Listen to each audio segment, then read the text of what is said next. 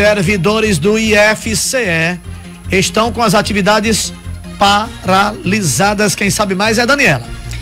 É isso mesmo, Paulinho. Nesse dia 3 de outubro, os servidores do IFCE e os servidores dos IFs em todo o país estão com as suas atividades paralisadas. Essa paralisação, ela tem como objetivo chamar a atenção da população por uma série de reivindicações que vem acontecendo desde o ano passado e aí culmina aí nesse momento onde professores, eh, pessoas do serviço técnico, servidores de uma forma geral dos IEFs estão nesse momento de paralisação, portanto hoje não tem aula. Professores na rua. Estivemos agora pela manhã lá na unidade Cajazeiras do IFC aqui de Iguatu e conversamos com alguns profissionais, conversamos com algumas pessoas que estavam ali à frente dessa manifestação. Eles estavam ali pro, bem em frente à unidade Ares, em seguida foram ali para o semáforo, é, justamente no sentido de parar o trânsito para mostrar a pauta de reivindicações deles. Mas quem vai trazer toda a pauta, explicando um pouquinho desse momento, é o Eleudson Queiroz ele que é coordenador do Sinacef, instituição essa também, sindicato esse que está à frente de toda essa mobilização aqui no município de Iguatu. Bom, essa paralisação é uma paralisação de alerta, digamos assim, para o governo federal, de, dizendo que a categoria dos é, do, é, servidores né, da educação federal, incluindo aí professores e técnicos administrativos, estão alertas para o processo de negociação que está em curso desde agosto, né, que vem sendo iniciado, e que realmente o governo não está dando a devida atenção, não apresentando propostas, é, a série de reivindicações que a gente vem fazendo já ao longo de vários anos, né, não é só de agora, mas de vários anos, é, por, visto que, para você ter uma ideia, ao longo desses últimos anos, nós passamos sete anos sem, né, os técnicos administrativos, sete anos sem aumento, professores mais seis anos, Tivemos um pequeno aumento agora que está longe de repor os 50% de perca salarial que nós tivemos nesse período, né? e outras reivindicações também que estão na mesa. Essa é uma, uma luta, né? é um direito que tem de todos os trabalhadores e trabalhadoras, é, porque realmente é, vem sendo trabalhado nas mesas de negociações já tentativas há um bom tempo e essa não vem gerando fruto necessário. Como essa semana é uma semana de várias mesas de negociação, a gente está mostrando né, a nível nacional que realmente a gente precisa que o governo escute e acate muitas das decisões que não envolve, é, Daniel, somente a questão salarial, mas a questão do investimento da educação. Né?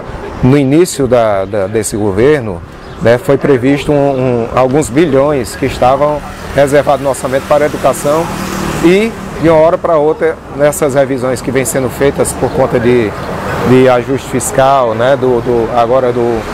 É, esse dinheiro simplesmente some. E não é justo que a educação pague o preço. Né? A gente está vendo aí a luta, né, a, a, até mesmo muitas vezes a chantagem do Congresso Nacional para obter dinheiro pra, para emendas parlamentares que vão para não se sabe onde. Né? e muitas se sabe que não, não, não tem um caminho nobre, né?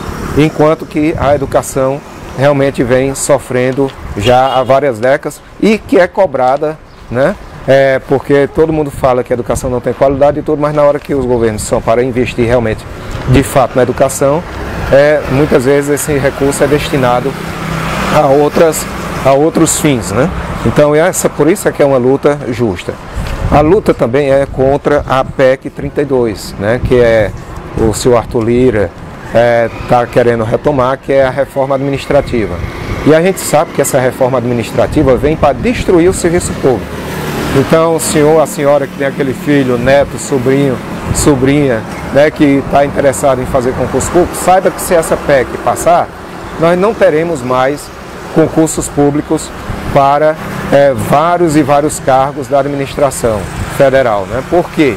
Porque, na verdade, o que esses políticos querem é fazer o esquema de contratação via é, terceirizada, né? empresas terceirizadas, onde existe de, realmente a, a, a, questão política de indicação né, de funcionários para essas empresas e esses funcionários, pela situação que estão, né, são colegas de trabalho, mas pela situação que estão, muitas vezes não têm é, a, a validação da lei para realmente cumprir suas funções.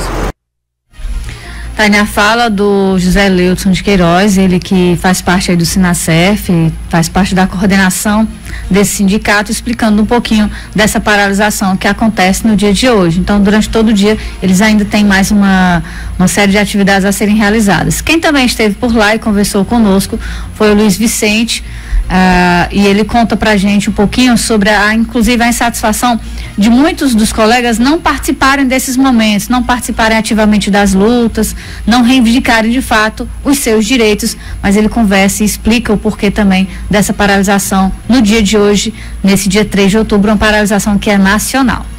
Nós somos o Sinazep, né, a entidade representativa dos trabalhadores, e hoje é o primeiro grande manifesto a nível nacional para avisar o governo que nós estamos aqui pronto para a luta, pronto para fazer o um enfrentamento, caso as nossas reivindicações não sejam, no mínimo, negociadas né, na mesa de negociação, para que a gente possa colocar as nossas perdas durante os últimos sete anos e aí chegarmos a um acordo para ver se nós conseguimos recuperar parte dessas perdas nós esperávamos que tivesse mais trabalhadores, né? porque afinal de contas são sete anos que nós estamos sem, sem ter aumento no nosso salário vencimento, além de outras perdas, perdas no TIC alimentação, perdas né, no, no orçamento da instituição, que é importante e fundamental para o um ensino de qualidade.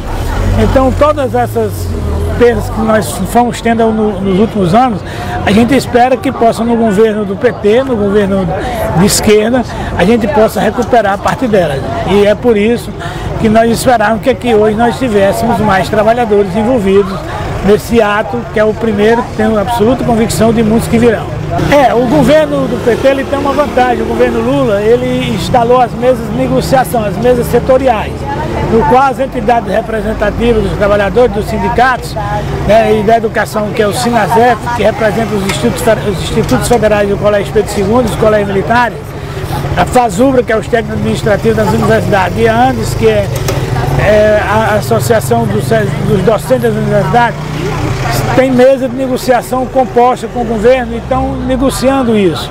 Estão em, em, em permanente negociação para que a gente possa chegar a um final que seja bom para todos os lados. Né? Nós estamos negociando carreira, nós precisamos ter uma carreira, nós não queremos só o aumento, queremos uma carreira onde a gente possa evoluir e progredir dentro da carreira. A capacitação dos nossos servidores, principalmente dos técnicos administrativos que está devendo muito, mestrado, doutorado. E é por isso que as mesas setoriais são importantes. E elas estão compostas e a gente está em permanente negociação, mas a gente não conseguiu avançar como a gente queria. Por isso que a gente começou a se manifestar publicamente a nível nacional. Quem também conversou conosco, a professora Moisa Medeiros, estava lá participando desse manifesto, explica também um pouquinho das pautas, as reivindicações dos servidores do IFCE aqui no município de Iguatu. Vamos à conversa com ela. A gente é, acredita né, que a valorização do servidor público, especialmente os da carreira da educação, também valoriza a qualidade da educação, possibilita que essa educação possa ser cada vez mais de qualidade. Não tem como a gente garantir a educação de qualidade sem investir no servidor público, em suas condições de trabalho, nos seus processos de trabalho valorizados né, dentro da carreira pública federal, especialmente, que vem sofrendo vários desmontes, né, inclusive desfinanciamento da educação pública federal, com o novo arcabouço fiscal, né, as novas formas de investimento na educação, que na verdade é um desinvestimento. Então, nós, servidores públicos federais, é, estamos há mais de sete anos com os nossos salários congelados, né, os reajustes eles não favorecem a garantia das condições básicas de vida do servidor e de sua família. Então, a gente defende a educação pública, mas também, para que essa educação pública ela seja fortalecida, a gente precisa de um servidor público também valorizado e fortalecido.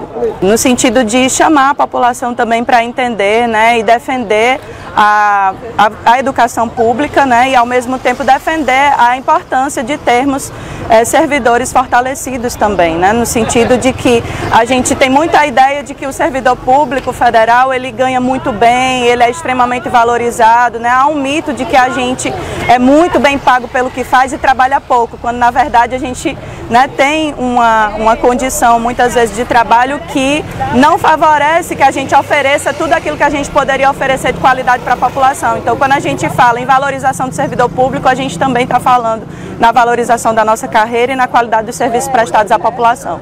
Nossa pauta né, em defesa das da qualidade da educação, em defesa é, da educação pública com as verbas ampliadas. Afinal, se a gente quer garantir cada vez mais vagas, cada vez mais qualidade, cada vez mais pessoas acessando o ensino superior, o ensino médio, o ensino médio técnico, a gente precisa também que os nossos servidores estejam em condições de oferecer esse serviço de qualidade. Então, investimento na educação é a garantia de verbas para essa educação, né? não é só o salário do servidor, mas é o investimento em pesquisa, em extensão, concurso público para servidores, né, para ampliar o quadro docente, as condições mesmo de trabalho, né, a gente tem tido um desfinanciamento constante da educação, então isso impede que a gente tenha insumos para trabalhar nos laboratórios, na biblioteca, né, condições é, prediais para oferecer um conforto aos estudantes. Então, quando a gente fala investimento na educação, a gente está falando de um todo, né, a gente está falando de um contexto muito maior.